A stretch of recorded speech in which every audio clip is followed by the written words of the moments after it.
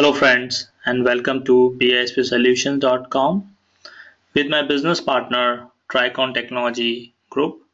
My name is Amit and in today's session I'm going to show you how to test cash flow template. So there's a cash flow business logic written in calculation manager. Today we see how to test it, how it works and there is another session in which I talk about how to write business logic for cash flow. So let's get started. Cash flow as the name indicate the movement of cash or cash outflow or inflow during your business activities which in turn consist of three type operating activities so it often come from income statement items so operating activities your usual business operation you cash receive or you pay cash. The second part of the cash flow is investing activities.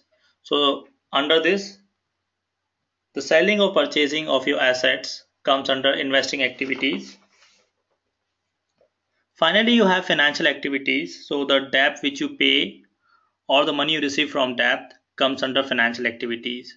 So the first part of creating cash flow template is to design your account structure, account dimension structure. So this is a sample account dimension structure I prepared. As you see in this, it consists of three part. Operating activities, which I mention as the money which you receive, account receivable, or money which you pay, account payable.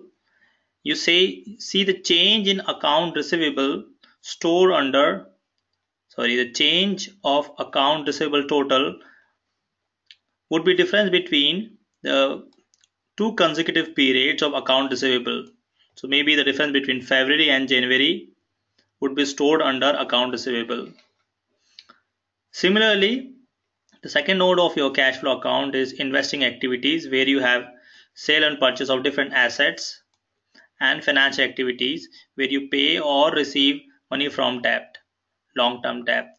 So let's first see the structure, the outline structure when you log into your planning and budgeting cloud service, you can open the dimension structure from navigation pane.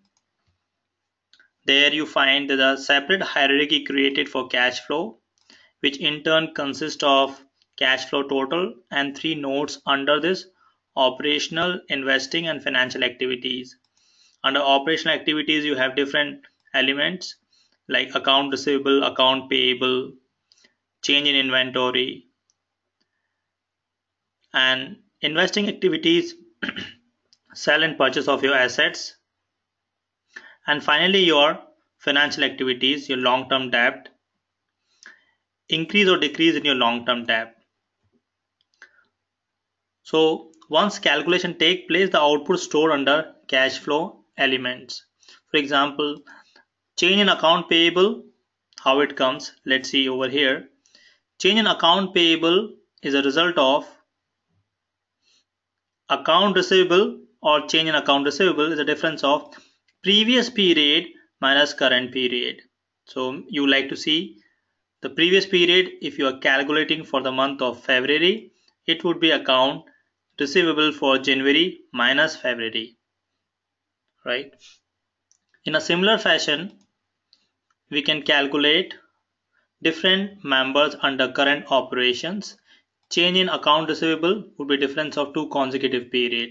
You can actually see this 1200 is part of your income statement. You can search over here. This is a name. I can search. So this is total account receivable. So between two consecutive period the output store in change in account receivable. Similarly the change in inventory would be the difference between two consecutive periods of inventory account. Change in prepaid, the difference between two consecutive periods of account, expense account and so on for current operations.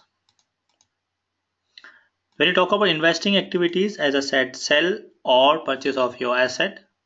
So your fixed asset account of current period previous period minus current period would be change in equipment purchase. Other asset differences between previous and current period would be stored under change in other assets. And finally, your financial activities, which is your the money which you receive through debt or you pay to debt. So long-term debt. So difference between long-term debt account for previous period and current period would store under increase or decrease in your long-term debt. And you have change in other equity, which is in turn difference between two equities, two period equities. This is issuance of common stock, issuance of or repurchase of common stock of two consecutive period would be stored under 3100. This is a common stock account. So let's see how it works. So in order to test this calculation, I prepare one data form. We would open the data form, input some number and test the output. So you go to data form section. You can open it from your home page data section. Under plans, I created the data form testing called test cash flow plan. Click on this and as you see in the as you see in the PPT, the change in account receivable would be the difference between prior and current period. So when you see the numbers over here, change in account receivable should essentially be the difference between February period and January period. It could be for quarter as well. This 72365 would be difference between your January minus February. You can test it once again. You can put the value number, put 0 over here and upon save the business rule would be invoked and difference would be calculated in the month of February. The business rule invoked and this is the output. To make sure the numbers are correct, we can use a smart way. As we did in our previous session, I created three Excel sheet.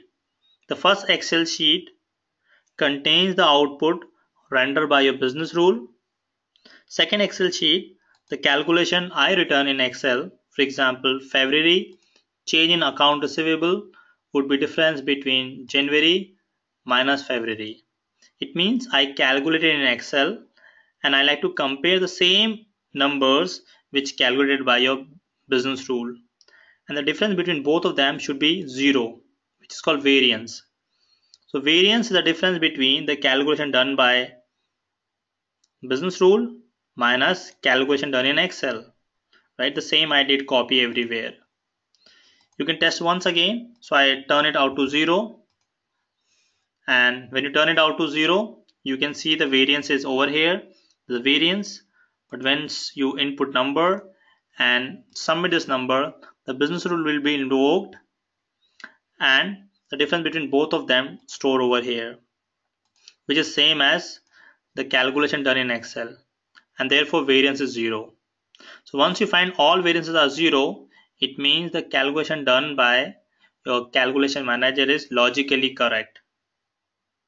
So once you tested this, in the second part of this presentation, I talk about how to write calculation script or business rule to perform cash flow calculation. That's it for today. Should you have any question, please uh, feel free to write to bispsolutions.com. Thank you.